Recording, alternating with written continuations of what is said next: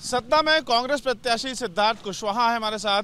पिछली बार आप जीते थे, उसका उत्साह इस बार कुछ दिख रहा है? बिल्कुल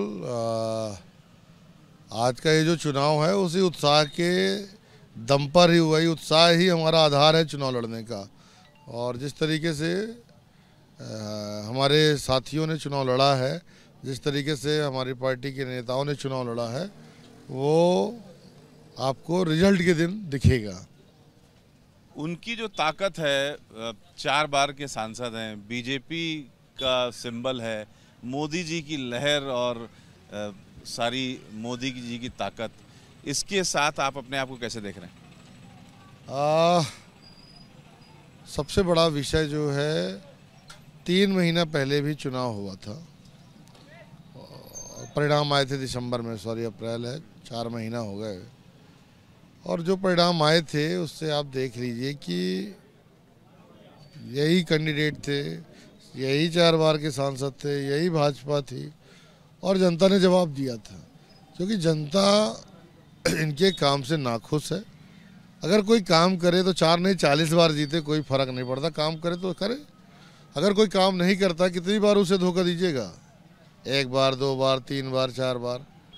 और लड़ने के लिए हमारे लोग हमारी टीम हमारी आज जबकि प्रचार कार्य बंद है प्रचार नहीं हो है तो आज दिन भर आपका रूटीन क्या रह रहा है?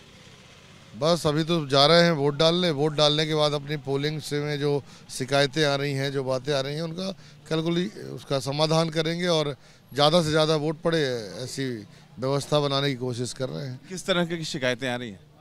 कहीं ईवीएम ट्रिप कर गए हैं कहीं आ, कंट्रोल यूनिट गड़बड़ है कहीं टेक्निकल इशू है कुछ जगह। संतोषजनक मतदान हो रहा है?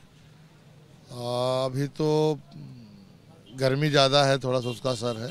एक आध घंटे बाद समझ में आएगा। क्या वोटिंग परसेंटेज पिछली बार घटी थी? इस बार भी लग रहा है कि वोटिंग परसेंटेज घटती हुई दिख रही?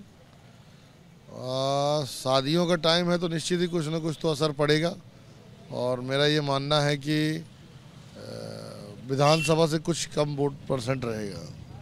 तो इस तरीके से एबीपी न्यूज़ भी आपसे ये ज़रूर कहेगा कि अगर आपका आज के दिन मतदान है तो ज़रूर घर से निकलिए और मतदान करिए।